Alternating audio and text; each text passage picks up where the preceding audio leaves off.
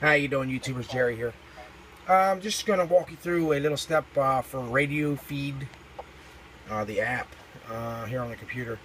Uh, this is for setting up your online scanner feed um, for police and fire scanners. Uh, if you're if you want to broadcast it online, uh, like I'm doing Chester County Fire and EMS. first off, you're going to want to download the RadioFeed program. You're going to click on that.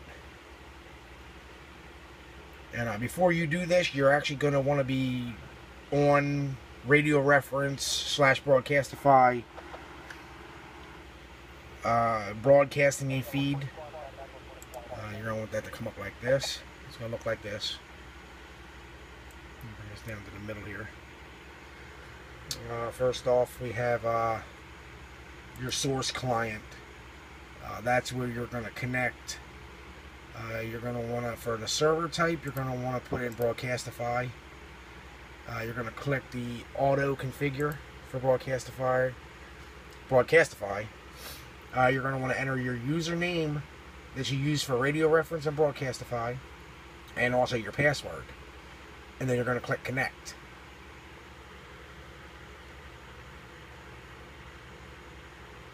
Just like that.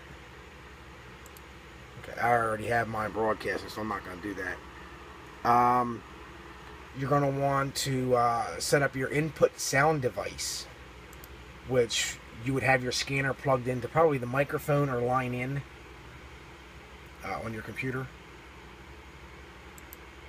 To change the bit rate, uh, you're going to want to, for broad, for Broadcastify, it won't let you do it. It'll only stay at 16, as you can see right there.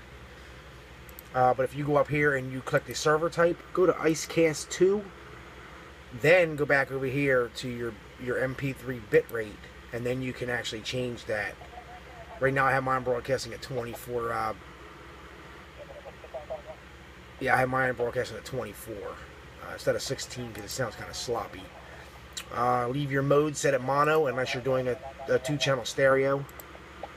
Uh, your samples per second, uh, 22050. Just leave that alone. You wouldn't mess with that, or otherwise you might not broadcast. Uh, but once you set up the Broadcastify, it's also going to uh, bring up your server IP address, which would be the audio 1 or audio 2, 3, or 4 broadcast.com, uh, broadcastify.com servers. Uh, server port is 80.